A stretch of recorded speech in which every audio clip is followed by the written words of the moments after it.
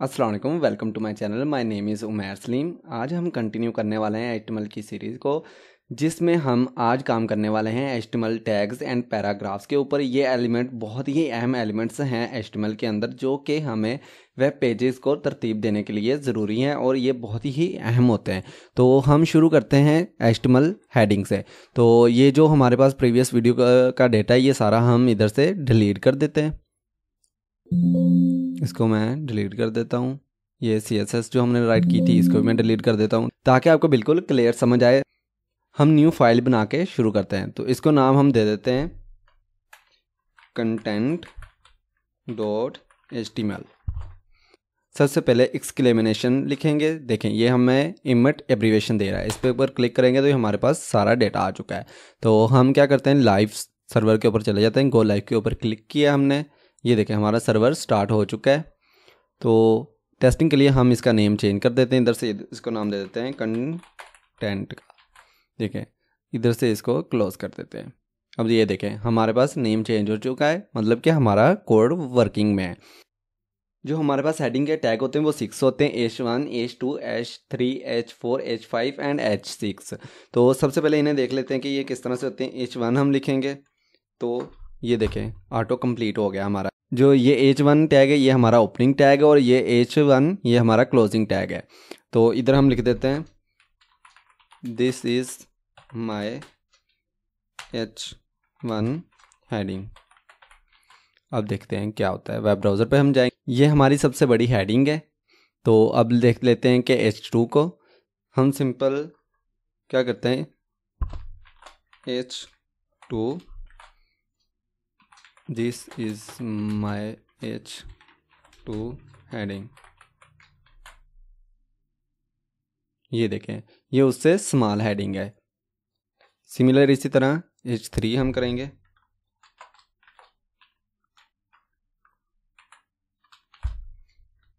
This is my heading H three heading ये देखें, इसका साइज़ उससे कम हो चुका है। मैं आपको थोड़ा जूम करके दिखा दूँ।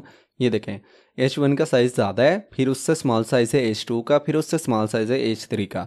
तो इसी तरह हम बाकी एच भी देख लेते हैं हेडिंग टैग्स भी देख लेते हैं। H four this is my H four heading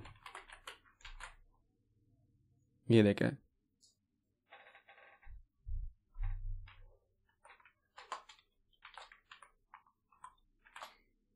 this is my h5 heading.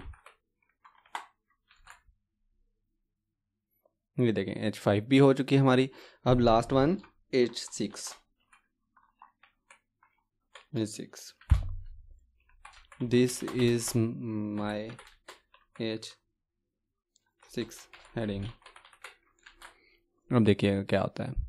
ये देखें, हमारे पास सारी हेडिंग्स हमारी आ चुकी हैं। एच वन सबसे बड़ी हेडिंग है, उससे स्मॉल हेडिंग है एच टू उससे स्मॉल एच थ्री और इसी तरह सबसे स्मॉल क्या आ जाती है हेडिंग हमारे पास एच सिक्स तो इसके बाद हमारे पास क्या आ जाता है? पैराग्राफ को हम देख लेते हैं। पैराग्राफ टैग के लिए हमने राइट करने के लिए आर्टिकल के अंदर हमने अक्सर देखे होते हैं आर्टिकल्स के अंदर heading H one H two H three से होती है, लेकिन जो बाकी का कंटेंट होता है वो सारा कंटेंट के ज़रिए लिखा जाता है। तो इधर हम लिख देंगे पैराग्राफ हम इधर यूज़ करेंगे लोअर एम देखें लोरम टैक्स ये हमारे पास आ चुका है। ये देखें हमारे पास ये सारा टैक्स आ चुका है। अब एक और हेडिंग देने के लिए, फिर हम क्या करेंगे? दोबारा से पी टैग का यूज़ करेंगे। This is this is our description ये देखें अब अगर मैं मैं चाह रहा हूँ कि मैं ये डिस्क्रिप्शन को बोल्ड कर लूँ विदाउट स्टाइलिंग तो हम क्या करेंगे? हम स्ट्रॉन्ग टैग का यूज़ करेंगे।